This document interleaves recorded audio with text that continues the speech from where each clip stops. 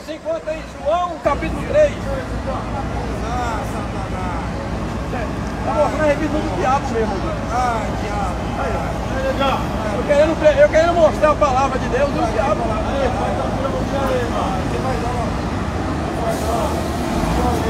Tô tentando.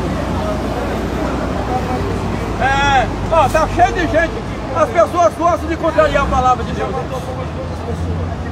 pessoas gostam de contrariar a palavra de Deus. Você perguntou o que você mantém como de quantas pessoas? Quantas pessoas? Você sabe que eu cuido de quase 100 crianças todo dia, diariamente? Ah, é. Você sabia? Ah, é, mano. Você sabia disso? Você sabia disso? Ah, não. Então você não me conhece. Quanto você ganha? Você, você tá me acusando de daqui que você não conhece muito bem. Quanto que ganha? Mano, eu conheço todos vocês. vocês Ah, você não conhece nada. funcionários. Você não conhece não. Você não conhece não. É bom ficar enfrentando o pregador do evangelho, né, gente? É muito bom enfrentar o pregador da palavra, porque o pregador da palavra é passivo. O pregador da palavra é passivo. Passivo. Quando chega o ladrão para roubar, todo mundo me- treme as pernas. Mas quando chega o pregador, desfaz da pregação do evangelho. Por isso que a terra está como está, gente. Pregar a palavra, irmão. Ele está dizendo que eu não faço bem nenhum, que não mato fome de ninguém. Eu disse a ele, eu cuido de 100 crianças. Aí você cuida por interesse. Eu cuido por amor, ele nem sabe. Nunca me Aí tá bom, eu continuo amando ele. É? Nós não somos é, só da galera não, gente. Pelo amor de Deus. Antes da gente vir aqui para falar de Jesus para vocês, a gente se esforça para obedecer essa palavra. Só tem um porém. O maior, o maior trabalho, o maior milagre que existe no coração do homem é a palavra de Deus. Deus exige que nós ajudamos o nosso próximo e matamos a fome de quem está com fome e ajudamos a prosperar o homem necessitado, tirar da pobreza. Porque geralmente assim, o camarada quer enriquecer a si próprio não quer ajudar o outro a prosperar. Geralmente é assim mesmo, igual ele está falando. Geralmente a ganância tomou conta da terra. Sabe, quando eu vejo uma pessoa criticando o pregador, eu levo em consideração o escândalo que está permeando o mundo. O escândalo, irmão. São poucas as pessoas, poucos os pregadores da palavra que realmente fazem por amor. Essa é uma verdade. Essa é uma verdade. Sabe? As pessoas estão com o coração machucado, escandalizadas, porque de tanto escândalo. Os pregadores do evangelho com as barrigonas desse tamanho, sentado numa cadeira, não consegue se levantar para nada, só pensa no seu próprio umbigo. A maioria dos pregadores da palavra só pensam no seu próprio umbigo. Mas esse não é o meu caso, não. Então, quando alguém fala, eu retruco, eu debato, porque não é o meu caso. Eu estou aqui há 25 anos falando desse Jesus. E ninguém me dá nada aqui, ó. Se alguém me der algum real, eu recuso. Quantas vezes eu vou pregar na igreja? A minha mãe gosta de ir comigo nas, nas igrejas quando eu vou pregar, sabe por quê? Porque o pastor me dá oferta, eu dou pra ela. A minha mãe gosta de ir comigo quando eu vou pregar. Tá aqui o meu filho, ó. Pergunta a ele os convites que eu recuso. De alguém que me chama para pregar. Que me daria uma boa oferta, eu recuso para pregar na praça pública. Brigo para vir pregar na praça de graça. E recuso muitas vezes grandes catedrais que me dariam oferta. Sabe por quê? Porque eu descobri que quanto mais eu faço de coração, de, de, de forma sincera para Deus, muito mais Deus tem para me dar. Quer ver um pregador que faz algo de Deus por dinheiro? Você pode examinar, perguntar para ele, tem no mínimo três doenças no corpo. Pregador que, que prega por dinheiro, tem no mínimo três doenças mortais no corpo. Mas eu tenho de parar de pregar de vez em quando, porque a garganta não aguenta de tanto pregar em praça pública para ralé na sociedade. Você não é ralé, mas a ralé está no meio do povo, está na rua. Eu posso não ser uma ralé, mas a ralé o desprezado. Aqueles que os políticos viraram as costas, estão aqui na rua. Aquele que a política brasileira viraram as costas, estão na rua, passando fome. Mas você não está ouvindo o político. Que pregam hoje para amanhã tentar ganhar o teu voto, para me candidatar e ganhar alguma cadeira de honra. Tem, tem algo em você que eu estou cobiçando. Tem algo valioso em você que eu quero. É a salvação da tua alma. A salvação da tua alma é o maior tesouro que alguém pode conquistar. Tua alma tem valor para Deus. Talvez nem tu mesmo sabe, sabe o valor da tua alma. Por isso que o diabo muitas vezes faz homem gato e sapato. Qualquer tentaçãozinha, o homem está caindo e se rastejando aos pés do diabo. O homem não sabe o valor da sua alma. O homem não sabe o tamanho das bênçãos de Deus, o pacote de bênçãos que está para cair na cabeça dele. Se ele tão somente diz, Jesus, eu peço perdão pelos meus pecados, perdoa os meus pecados. Deus não quer homem perfeito e justo. Deus quer um homem com a boca aberta, dizendo, Jesus, eu pequei, me perdoa. Todo dia eu digo, Jesus, tem misericórdia, perdoa os meus pecados, porque eu sei que eu sou pecador. Claro, Sabe por quê? Porque se a Bíblia diz que todos pecaram, se todos pecaram, eu estou incluso.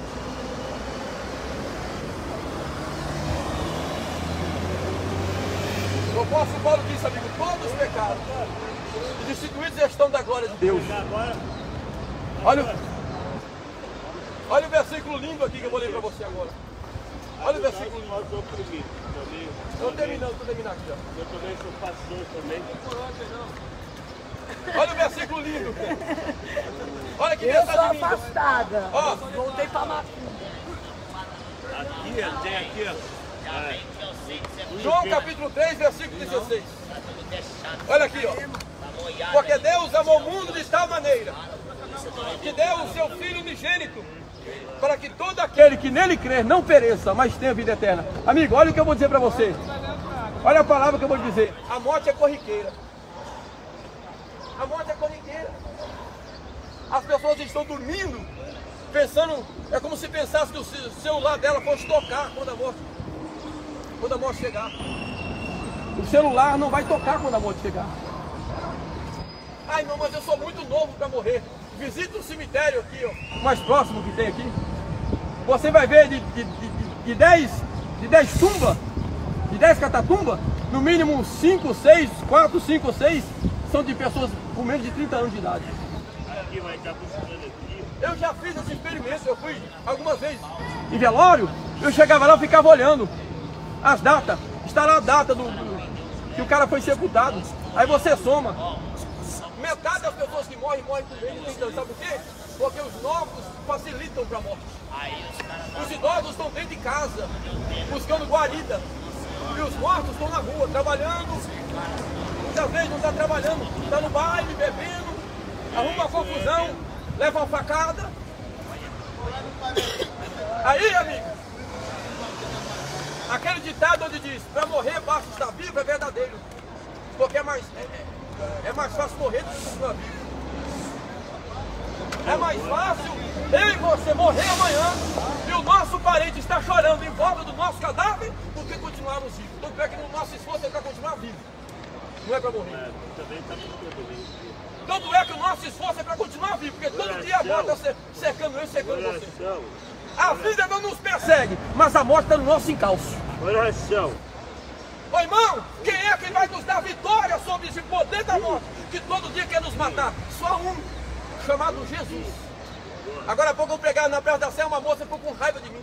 Porque dizia, meus, meus orixás me seguram. Falei, Seus orixás não podem livrar você da sepultura e da perdição eterna. Ela ficou com raiva. É só o Senhor Jesus que salva, é só o meu Jesus. Se ele eu vou para o inferno, vai para o inferno. Filho ficou admirado que eu falei para ela. Mas porque é somente o Senhor Jesus que salva? Eu digo, ó, isso tem que, tem que perguntar para ele. Aqui, ó, peraí. Pastor. As pessoas querem uma religião que Aqui, se adapte aos seus Orar aqui, modos de vida. Pastor, aqui. As pessoas querem seguir uma religião que esteja em seu agrado, que satisfaz o seu, seu ego. Uma religião que apoia o seu cigarro, uma religião que apoia a sua bebida, uma religião que apoia o seu adultério. E deparam com Jesus, Jesus diz assim, deixa o cigarro, deixa a cachaça, deixa o adultério, deixa a mentira, deixa a prostituição, deixa o roubo, deixa o homicídio. Ela fala, não quero, está muito difícil. Mas ela não faz ideia de que quando Jesus se aproxima, propondo a ela cumprir os dez mandamentos, ele diz, eu estarei, eu estarei convosco todos os dias e vos darei graça. Sabe por quê? Porque a nossa justiça para Deus é imundícia. E a Bíblia diz, não foi segundo as obras de justiça que houvéssemos feito, mas segundo a sua misericórdia. Eu não estou lhe pregando aqui porque eu preparei um sermão, decorei, estudei, me tornei um teólogo. Estou pregando aqui porque está me inspirando para te falar. Porque se a mensagem não foi inspirada por Deus, você não sente o toque do Espírito Santo. Se Deus não convenceu o homem, teólogo não convence, oratório não convence, sermão bonito não convence. E convence o homem do pecado, o Espírito Santo. Porque diz a Bíblia, não por força, nem por violência, mas pelo meu Espírito, diz o Senhor. Amém? A morte é corriqueira. E é mais fácil morrer do que continuar vivo. Hoje nós não queremos dobrar o nosso joelho, não queremos nos humilhar perante a presença de Deus, não queremos chorar os nossos pecados. Nós não queremos chorar os nossos pecados. Mas a Bíblia diz que o salário do pecado é morte. Morte, o salário do pecado é sepultura. Sepultura e cova funda é o salário do pecado. E quando eu prego para você aqui a nuvem de demônios, não querendo que você receba essa palavra. O diabo tem sede na nossa alma, amigo, sabia? Hã? Satanás tem sede na alma do homem. O diabo não quer homem vivo para se arrepender, receber Jesus, escapar da perdição. O diabo quer matar homem. Pedro foi quem disse, alertando todos nós, em suas epístolas, vigiai, estejai de sobreaviso, porque o diabo, vosso adversário, anda bramando, rugindo, como leão, em vosso derredor, buscando, procurando quem possa tragar. Não pense você que o diabo não está mirando você para te atravessar uma espada na sua alma e levar tua alma para perdição eterna. Não pense você. Quando é aquele dia do diabo, você pode ser querido de Jesus, Jesus te ama, mas o diabo te odeia. Demônios não querem que você se renda a Jesus para continuar nessa vida de pecado. Muito mais, quanto mais, sempre, como nunca, afundando no lamaçal do pecado. O pecado é uma doença mortal, mata milhões de vezes mais que corona, que câncer, que AIDS. Pessoas estão com medo de corona, mas o pecado é o pior assassino. Mas o corpo mata a alma. O salário do pecado é a morte, mas o dom gratuito de Deus é a vida eterna. É preciso clamar o Evangelho em alta voz, em frente à catedral, para que o mundo ouça e escape da perdição, corriqueira. Não dá para filosofar, amigo, e articular palavras bem colocadas, quando é o Espírito de Deus para repreender esse mal da sua vida. Você sabe o tamanho da chaga que está dentro de você. Você sabe onde é que está o seu calcanhar de Aquiles, a sua fraqueza. Você sabe, o diabo sabe qual é o teu ponto fraco. Eu sei qual é o meu ponto fraco. Onde é que eu preciso me debruçar mais diante de Jesus e pedir força para resistir? Essa é minha fraqueza. O pecado, o pecado é o aguilhão da morte. Porque a morte é corriqueira, porque os homens estão no pecado, e o pecado é o aguilhão da morte, porque a morte é corriqueira, porque os homens estão no pecado, e o pecado é o aguilhão da morte.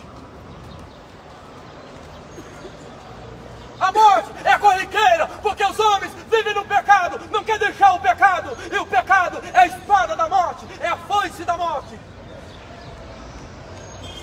O pecado é a metralhadora da morte, o pecado é a metralhadora da morte. Você pode até continuar no pecado, mas nunca mais você vai esquecer que no pecado você morre como nunca você desce. Desce rápido a milhões de quilômetros por hora, reto em direção à perdição.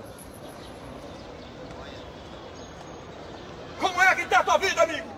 Havia um homem rico que zombava escarnecendo a palavra, e Deus me alertou dizendo, louco, louco, esta noite perderão a tua alma, a morte está batendo, vai bater na porta da tua casa, te prepara, porque o que você tem, para quem vai ficar? Louco, louco, esta noite perderão a tua alma, olha aí a morte vai chegar, porque a morte é corriqueira, eu tenho que estar preparado quando a morte vier. Eu tenho que bater no peito, matar no peito. Você pode vir. Você, morte, é o cavalo que me leva até o céu. Mas para o homem que não está com a vida acertada com Jesus, a morte para ele é um perigo. A morte para ele é um perigo, porque leva a alma dele para o inferno. Porque o inferno é real. O inferno é real! É real! O inferno é real! Não brinque! com a morte. O seu telefone não vai tocar quando a morte chegar. Quando a morte chegar, ela vai te levar e o seu telefone não vai tocar. Sua mamãe não vai avisar, filhinho, está chegando, seu tio não vai te ajudar, detive, né? Sobrinho, a morte está chegando, o seu papai não vai te ajudar e te avisar, dizendo que a morte vem, porque ninguém sabe. A morte surpreende aos milhares, toda hora, todo minuto. Milhares são surpreendidos, porque a morte não respeita idade nem classe social não respeita cor, nem credo, nem credo. Não respeita o diploma, o carro novo, o cabelo escovado. Morte não respeita corpo bonito. Não respeita o país de primeira qualidade, primeiro mundo. A morte vem e mata. E a morte é mal educada. Quando a morte vem, o seu telefone não vai tocar quando a morte vier. A morte é mal educada, ela entra e sem bater na porta, ela estoura a porta.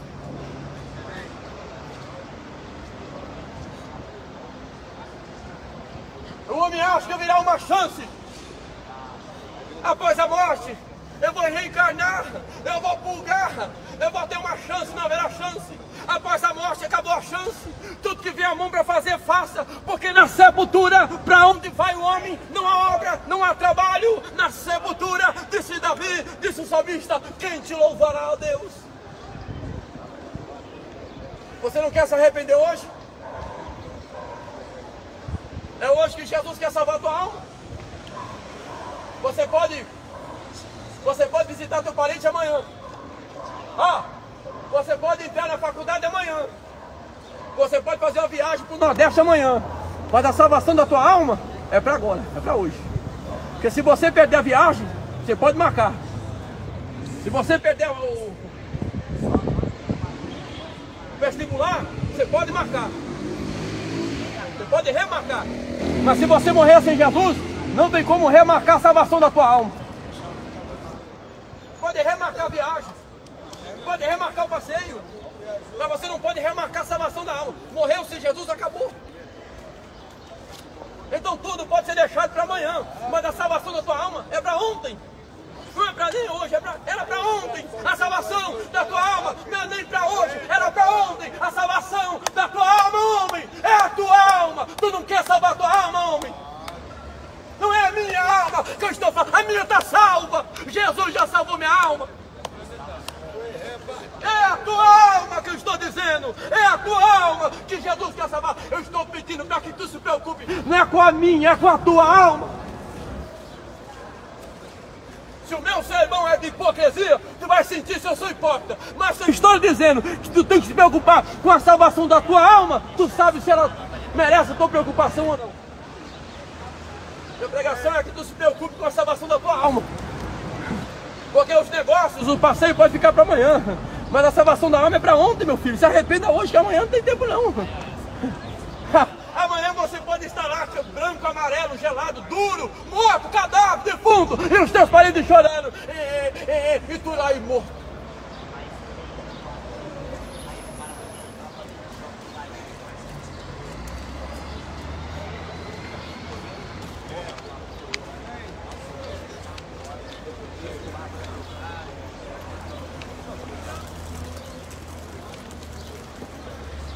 Ei!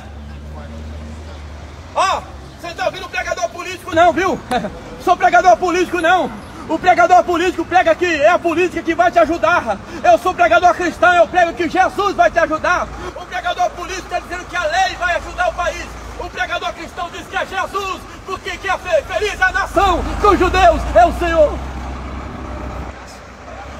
Ah, o pregador político. Ai, tem que colocar o parlamentar cristão, o presidente tem que ser o cristão, senão vai, a lei vai impedir de pregar. Eu prego Jesus, a terra de Jesus. Que seja um ou outro, eu estou pregando. Não vai, vai poder pregar não, irmão. Prega do mesmo jeito. Outro mata, mata, eu prego. o pregador político era com medo da lei. Ai!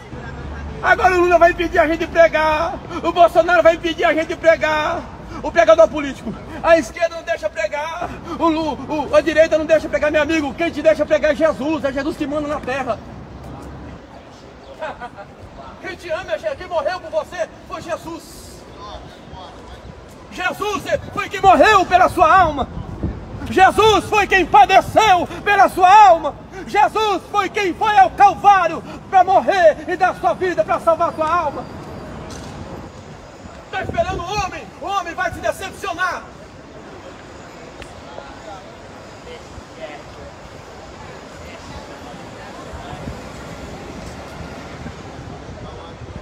Aí eu confio no homem. Você confia no homem?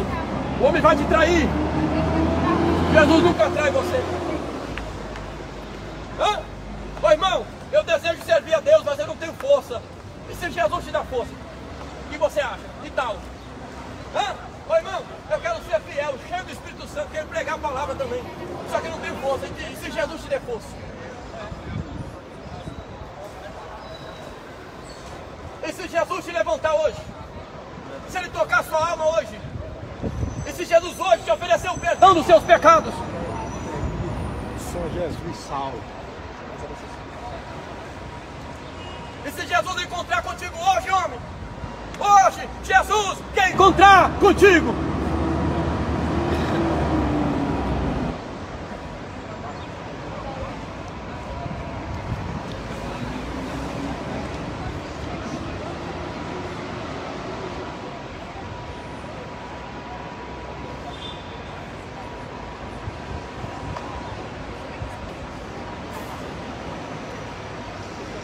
Porque o prazer de Deus é que nenhuma alma se perca. Hã? É o prazer de Deus que nenhuma alma se perca. É o prazer de Deus salvar o homem. Salvar. Quem é que vai salvar a tua alma? Será que o padre vai salvar a tua alma? Será que o pastor vai salvar a tua alma? Quem vai salvar a sua alma? Assembleia Católica Batista? Candomblé? Não, vamos ser sinceros aqui. Quem que salva a alma do homem? Quem é que salva? Pedro? É Maria? É Jesus quem salva. Jesus quem salva, o homem disse, é Jesus quem salva. Nenhum outro nome é dado entre os homens pelo qual poderemos, devemos e poderemos ser salvos. Entrega sua alma para Jesus. Hã? Entrega o seu coração para Jesus. Jesus quer salvar a tua alma. Vamos deixar de sofrer, gente. Vamos entregar nossa alma a Jesus.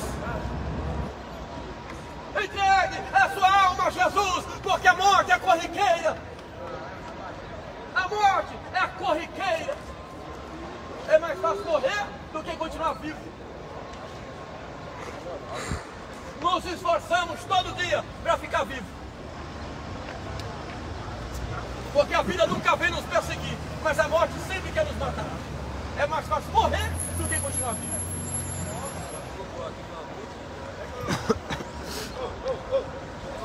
Hoje é o dia. Hoje é o dia de você entregar sua alma para Jesus. Hoje é o dia, hoje. Amanhã pode ser tarde. Ó irmão, amanhã eu vou, eu vou aceitar, porque hoje eu tenho uma ocupação. As duas ocupações podem serem remarcadas. Mas a salvação da tua alma é para ontem. Porque a morte é corriqueira. Ó irmão, por que, que a morte é corriqueira? Porque as pessoas querem o pecado. E o pecado é o aguilhão da morte. O pecado é a metralhadora da morte. A morte é corriqueira. A morte é corriqueira. O seu telefone não vai tocar quando a morte chegar. Milhares são surpreendidos todo dia pela morte. Porque milhares, os milhares, a multidão, a humanidade no pecado. Viraram as costas para Deus. E o pecado é o aguilhão da morte. Por isso a morte é corriqueira. O homem do pecado não sabe que está na mira da morte. O homem do pecado não sabe que está a um passo da sepultura. A minha proposta é para que você se preocupe com a sua alma. Se essa proposta, minha, para que você se preocupe com a sua alma, não vale nada, eu não sei o que tem valor para você. O homem valoriza mais um carro velho, uma casa velha, uma viagem boba do que a salvação da sua alma. Aí o carro fica, a viagem fica, a casa fica, ele vai para o inferno sem Deus. Esta é a minha proposta, que você se preocupe com a salvação da sua alma, amigo.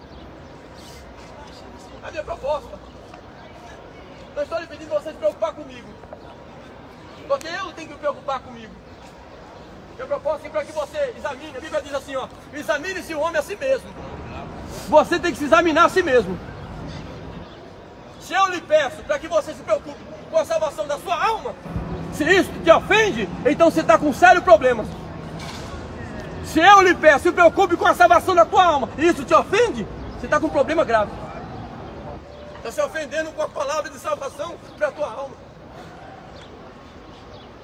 Hã? Será o pregador vem aqui, vem aqui na, na perto da e diz assim, você tem que se preocupar com a salvação da tua alma. Entrega a sua alma para Jesus. Aí você fica com raiva de mim por isso?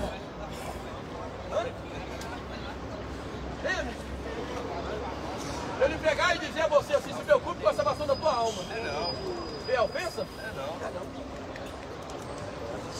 aí, posso falar a verdade, Olha isso não. Não briga com isso não. Viu? Não briga. Vem com o papo, pai. A salvação da tua alma é preciosa para Deus. A salvação da tua alma é preciosa. Ei, amigo. A salvação da tua alma é preciosa para Deus. Nada tem tanto valor nessa vida como a salvação da tua alma.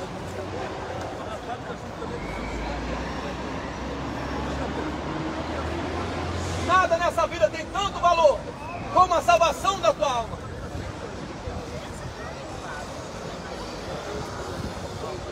Entrega a sua, entrega a sua vida para Jesus. Hã? Se você acha entregar a sua vida para Jesus hoje, levantar as mãos para dizer, Jesus sim, eu creio e Salvador. Amigo. Que tal, que tal, amigo? Hoje, você levantar suas mãos e dizer sim para Jesus.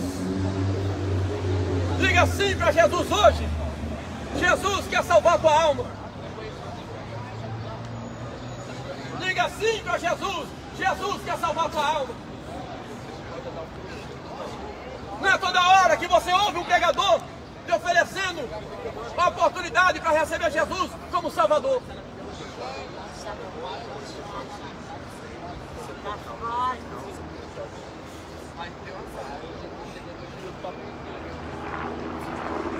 Não é todo dia, gente, gente tem a oportunidade de pegar o coração para Jesus. Porque a morte é corriqueira. A morte é corriqueira.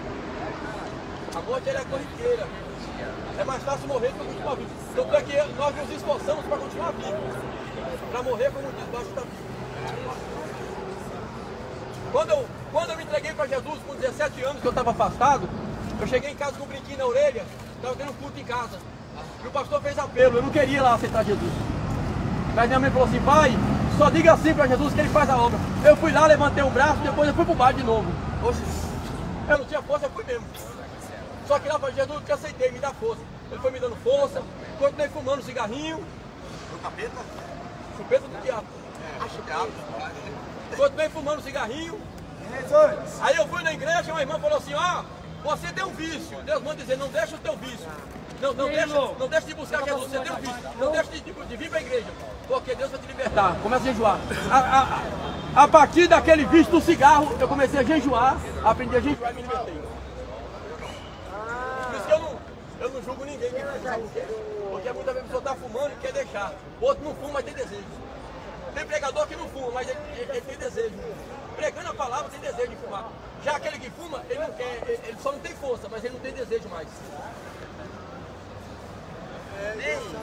Tem aquele que está solteiro e não convence a mulher do próximo. Já tem aquele que está casado. É por isso que eu tô virando corno.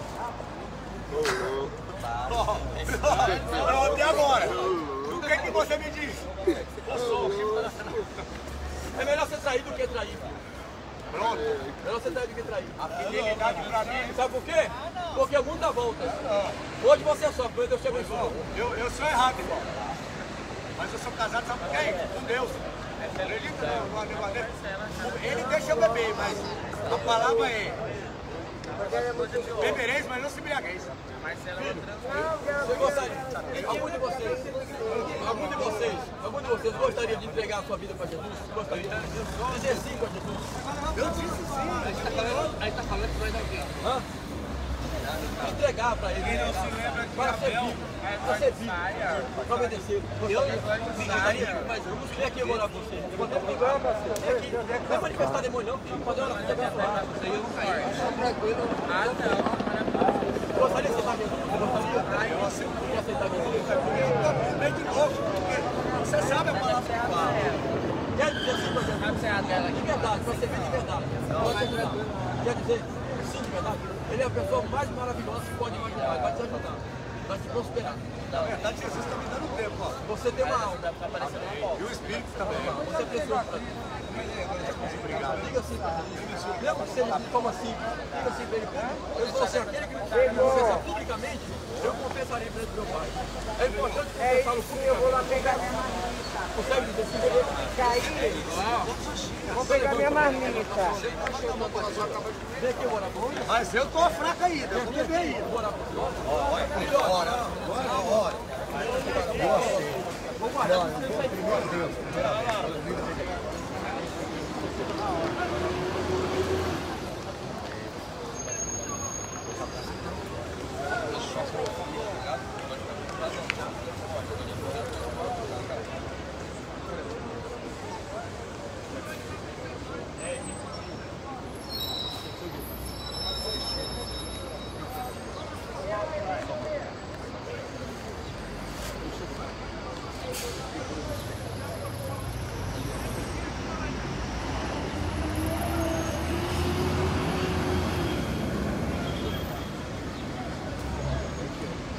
Eu te amo, Deus. Eu te amo, sempre.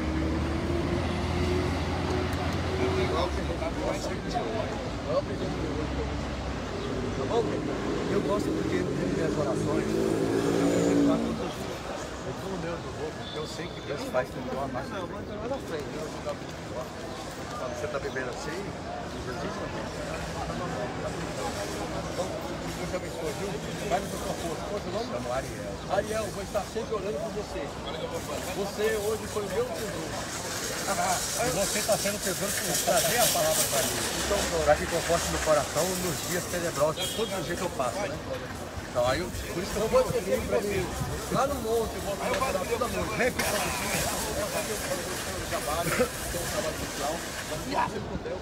Porque talvez no final de semana eu vou voltar para Vale, porque Deus tocou no meu coração esse final de semana. E eu quero voltar para o meu trabalho, dignidade. Quero voltar para o meu pai, meu Deus, beijar a terra. Sempre, hoje.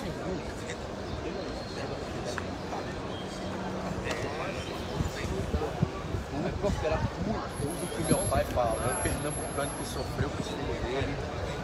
Fala, pode Deus. Eu sou tipo aquela da, da passagem bíblica, né? Fala, aí o pai falou assim, bem verdade. Eu casei aqui, né? Mas eu tô vendo que a minha mente tá ficando doida com essa Quando você pensar muito em algo, é Deus te Deus. Já deu. Quando você voltar, o filho pródigo voltou, E eu quero firmeza na minha vida. você vai acreditar. Quero goste. Conheço, tô ligado.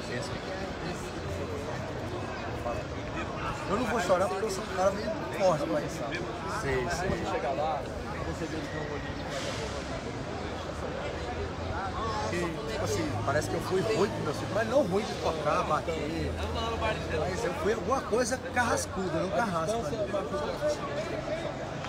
você vai Aí você vai abraçar. Uma semana, de uma semana de abraço, beijo, abraço, vai pagar. E eu quero minha melhoria.